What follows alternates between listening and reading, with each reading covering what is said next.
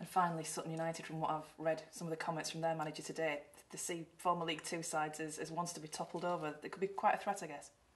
Yeah, well, I, I played them at, at Wrexham and they played really well on the day. We beat them, but they played really well. I think they've um, they've come in and you know I think they've um, you know they've bought good players. You know, and, and it's um, that you know they're not they're not a club that haven't really brought players in that um, that aren't experienced. They've got a lot of experience. You look at their experienced league players they've got in their side. Um, so that's why they're a good side. Players that actually know what the game's about. Um, you know, but uh, although it'll be a tough test, as, as every game we've played so far for different reasons, you know, Sutton's going to be another tough one. It's another test for us at home.